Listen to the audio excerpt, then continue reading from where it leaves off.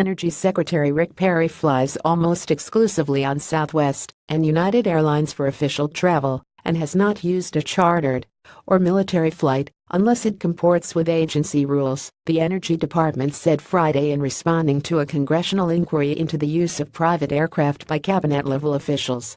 The Department of Energy strictly follows both government-wide and internal Department of Energy travel regulations and policy, said agency spokeswoman Shaylyn Hynes in a statement.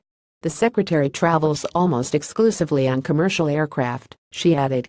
In the rare instances where government-owned or chartered aircraft have been used, trips were pre-approved by an ethics officer within the Office of General Counsel. Perry is the latest member of Trump's cabinet to be caught up in a scandal over the use of private flights that led to the resignation of Health and Human Services Secretary Tom Price exactly one week ago. Reuters reported earlier this week that Perry flew to Pennsylvania and Ohio using a private chartered flight to visit a uranium processing facility and a coal mine one day before Price stepped down. Perry took the trip at the direction of the White House the agency sent two documents detailing Perry's travel at the department in response to a recent inquiry from the House Oversight and Government Reform Committee to cabinet members on official secretarial travel.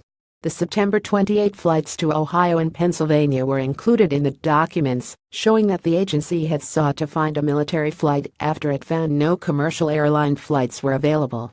It showed that the military flight would not be cost-effective and settled on using private charters that cost $11,000. The secretary and staff used commercial flights to return to Washington. It noted that Perry flies almost exclusively Southwest and United Airlines. The agency said that the department follows all federal rules and regulations regarding travel. Secretary Perry has never flown on a private non-commercial aircraft for official business as Secretary of Energy, according to the agency. The rules regulations makes a distinction between private aircraft and the government chartering from a company.